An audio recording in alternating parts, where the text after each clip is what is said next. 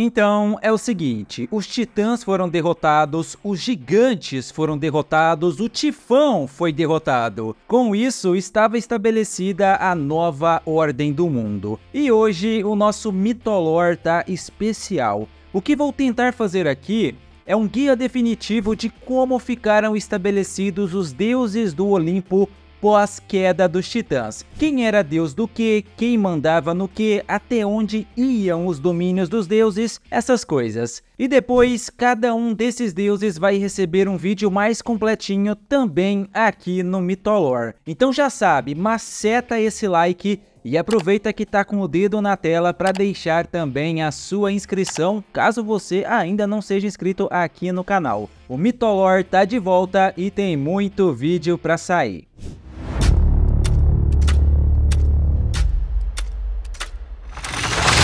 E claro que nessa nova ordem mundial, tudo parte lá do Monte Olimpo. Antes da guerra contra os titãs, a sede do governo era o Monte Otris, onde vivia o Cronos. A gente não tem muitas descrições sobre esse lugar, mas com certeza não tinha nem metade da pompa que tem o Monte Olimpo, com todas as suas casas lindíssimas e tudo mais. Então é para lá que a gente vai agora, o Olimpo. E daí eu vou tentar esboçar uma ordem de chegada, mesmo que seja bem difícil a gente estabelecer quem que veio primeiro em alguns casos, mas vai fazer sentido, vocês vão ver. Claro que o primeiro a se sentar entre os doze do Olimpo foi Zeus, o rei dos deuses, deus do céu, do relâmpago, do trovão, da lei e da ordem. Deus também do destino e da realeza, o manda-chuva, o Deus supremo, o soberano, Deus da porra toda. E com ele veio a sua rainha, a deusa Hera, a deusa do casamento, da harmonia conjugal e do céu, e também uma deusa protetora das mulheres durante o parto. A lista dos filhos de Cronos continua com Deméter, deusa da agricultura e dos grãos, uma deusa muito poderosa que tem como principal história lá o rapto da filha Perséfone, que basicamente definiu o surgimento e a passagem das estações. Estia era a deusa virgem do lar e da lareira. Ela não teve filhos e nunca se casou. Também era a deusa da chama sacrificial e recebia uma parte de cada sacrifício dos deuses. Basicamente, todas as orações e todos os sacrifícios terminavam com o nome dela. Dos filhos de Cronos, com assento no Olimpo, tá faltando ainda o Poseidon, deus do mar, dos terremotos, das inundações e dos cavalos, sempre representado com o tridente, o símbolo máximo do seu poder. E ele tinha o seu próprio domínio, era um rei também, o rei dos mares. E quem também tinha um assento no Olimpo era Afrodite, deusa do amor, da beleza, do prazer e da procriação. Uma mulher lindíssima que quase sempre aparecia acompanhada do filho, o Eros. O Exildo dizia que ela era a mais velha dos deuses do Olimpo, nascida ali no momento da castração de Urano, como nós vimos aqui. Mas o Homero e tantos outros depois dele contaram uma história diferente, que ela seria filha de Zeus. Afrodite foi casada com Hefesto por um tempo, mas gostava mesmo era do Ares, surpreendentemente. Aliás, filho de Zeus e Hera, o Ares era o deus da guerra, do desejo da batalha, da coragem e da ordem civil. E embora ele tivesse um assento no Olimpo, dizem as más línguas que não era lá muito respeitado pelos outros deuses. Era um cara meio que difícil. Atena também era uma deusa da guerra, mas um tipo diferente de deusa da guerra. Ela estava muito mais associada com a sabedoria no campo de batalha, com a estratégia. Era a deusa do bom conselho, das defesas da cidade e do esforço heróico. Acima de tudo, uma deusa da sabedoria como um todo. Era filha de Zeus e nasceu da cabeça dele. Em resposta ao nascimento de Atena, a deusa Hera sozinha gerou Hefesto, deus olímpico do fogo, dos ferreiros, dos artesãos, da metalurgia, da alvenaria e da escultura, retratado como um deus feio, até por conta da história de origem dele. Apolo e Ártemis eram gêmeos, filhos de Zeus com uma prima dele, chamada Leto. Apolo era o deus das profecias e dos oráculos, da música, da canção, da poesia, da cura, das pragas e das doenças e também um deus da proteção para os mais jovens. Ele próprio, né, é sempre retratado bem jovem, novinho, sem barba, com os cabelos longos e a famosa coroa de louros, às vezes com o arco e a flecha, ou então com a lira. Ártemis era a deusa da caça, da natureza selvagem e dos animais. Era retratada como uma menina, também muito jovem, com um arco de caça e uma aljava de flechas. Também nunca teve filhos ou se casou, fechando aí o trio das deusas virgens junto com Atena e Hestia. Até agora, se eu contei direitinho, já foram 11 deuses do Olimpo,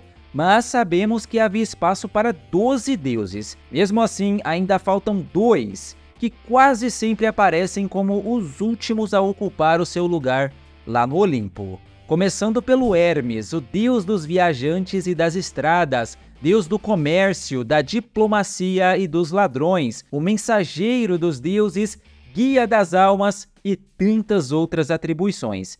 Era filho de Zeus com Maia, que era filha daquele titã que segura os céus, o Atlas. Por fim, Dionísio, o último a se sentar, deus do vinho, do prazer, da festa e da loucura um deus que chegou ao Olimpo porque o seu culto se tornou grande demais para ser ignorado. E como não poderia nunca haver 13 deuses do Olimpo, é dito que a deusa Hestia, de bom grado, cedeu o seu lugar para o filho de Zeus. Normalmente, esses são os 12 deuses do Olimpo, ou 13, né? Mas tem um negócio importante que eu tenho que falar e que já tem ficado claro aqui nessa série de vídeos. Para falar dos mitos gregos, a gente precisa lutar contra essa obsessão que a gente tem de encontrar inconsistências na história, furos de roteiro, essa mania pela linearidade, até porque isso daí é impossível. Daqui para frente eu vou falar de outros deuses que também moravam, viviam lá no Olimpo e que inclusive podem aparecer entre os 12 em algumas histórias mais tardias. O que eu preciso que você coloque na cabeça é que os gregos acreditavam que havia 12 deuses do Olimpo, mas eles não concordavam entre si quem exatamente eles eram. Então, é uma lista que pode variar, embora essa que eu contei aqui agora seja a mais conhecida e a mais aceita de longe. E agora eu vou seguir ordem alfabética, tá? Porque sei lá quem veio primeiro. Começando pelo Asclépio, deus da medicina, um filho de Apolo que viveu entre os mortais e depois recebeu a honra de caminhar entre os deuses como um deles. E ele teve uma filha que se chamava Ígia, a deusa da boa saúde. As graças eram filhas de Zeus e Eurínome. Eram três moças deusas da graça, da alegria e das festividades, deusas da dança e também da música. Moravam lá no Olimpo e eram damas de companhia da deusa Afrodite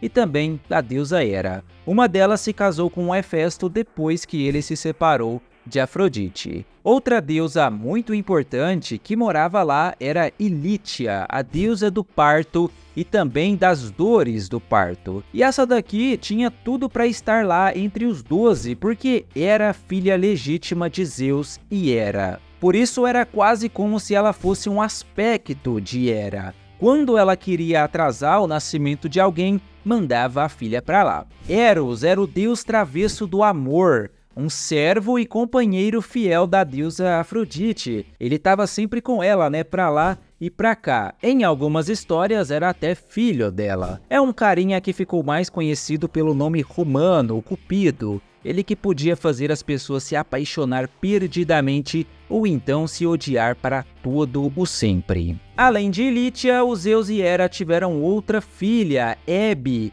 Era a deusa da juventude e também a copeira dos deuses. Ela que servia o precioso néctar dos deuses, que garantia a imortalidade dos olimpianos. Também era a deusa padroeira das noivas e por isso mesmo uma serva da deusa Afrodite. No fim, ela se casou com o Heracles. Aliás, o próprio Heracles, ou Hércules, depois de todas as suas aventuras e a morte trágica, também foi elevado ao posto de Deus e viveu lá no Olimpo junto com a sua esposa. Eles tiveram até dois filhos juntos, o Alexiares e o Anicetus, que também moravam lá no Olimpo. Na verdade, os dois eram guardiões do Monte Olimpo, quase como se eles fossem os porteiros divinos dos deuses. Eram os deuses da fortificação das cidades. E tinha mais filha de Zeus lá no Olimpo, lógico, né? Com o tanto de filho que esse cara tinha. Dessa vez com Temis, a deusa da justiça. Eram as Horas, as deusas das estações e das porções naturais do tempo. Deusas que estavam muito associadas então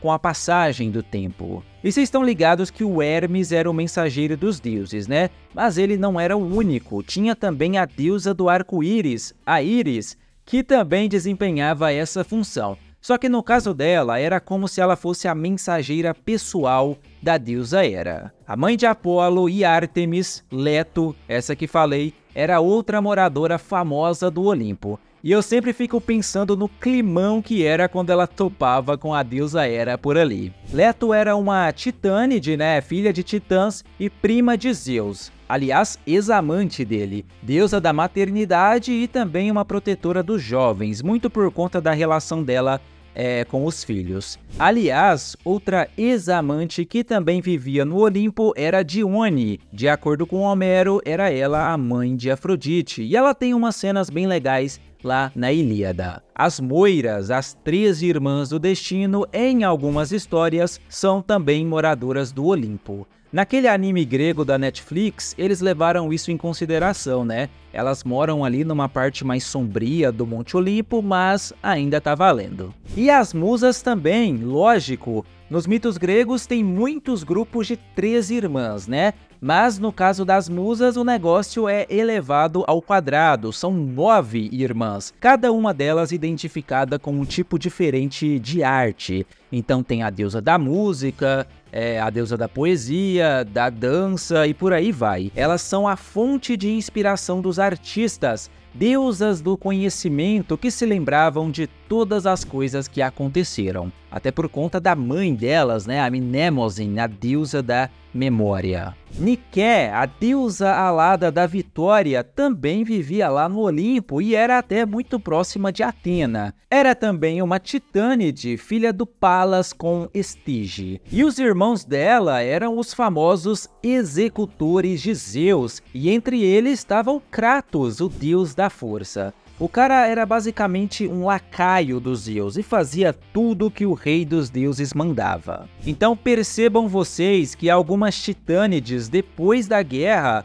foram autorizadas a morar no Olimpo, inclusive Temis, a deusa da justiça. No caso, então, uma titânide de primeira geração que ficou ali ao lado de Zeus e os outros deuses. O que faz sentido, né? Afinal de contas, ela foi casada com ele, e mais do que isso, foi uma importante conselheira de Zeus. E acho que vale a pena citar também Tique, a deusa da fortuna, do acaso, da providência e também do destino. Estava muito relacionada com a Nêmesis, como se fosse a contraparte boa ou positiva dela. É uma figura mais obscura, mas estava lá também. E isso é só para citar alguns nomes, tá? Porque existem dezenas, talvez até centenas de deuses do Olimpo. Alguns menores e outros bem regionais, então deuses mais obscuros, muitas vezes aspectos de outros deuses que em algumas histórias são também deuses distintos. Eles eram até classificados em grupos distintos, como